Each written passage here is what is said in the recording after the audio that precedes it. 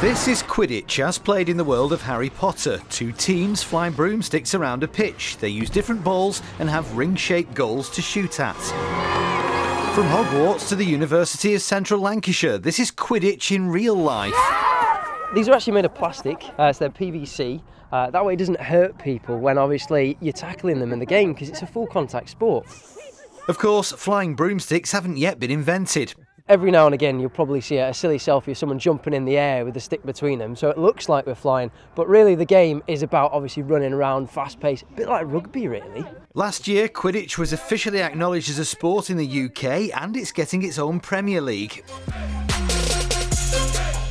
It's already well established in the USA and seems to pull in the crowds.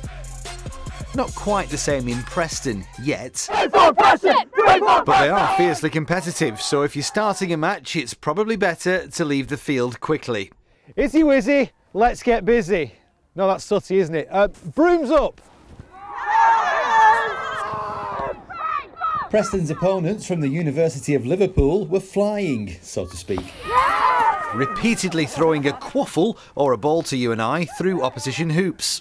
When we were at Northern Tournament uh, a couple of weeks back, it was it was deadly serious. It was pretty savage at times. And it was he who sealed victory by grabbing the snitch, basically this man's tail. Game over. Everyone's just so nice. Like there's, it's competitive when you're on the pitch, but as soon as you're off the pitch, everyone's just friendly and nice.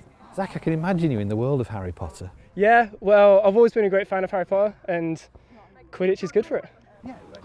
A view the sport's increasing number of players can relate to. Ian Haslam, BBC Northwest Tonight.